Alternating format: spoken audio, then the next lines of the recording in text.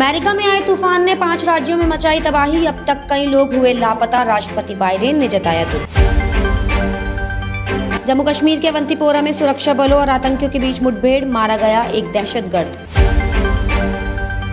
देर रात प्रधानमंत्री नरेंद्र मोदी का ट्विटर अकाउंट हुआ हैक। बिटकॉइन लीगल करने का किया गया ट्वीट।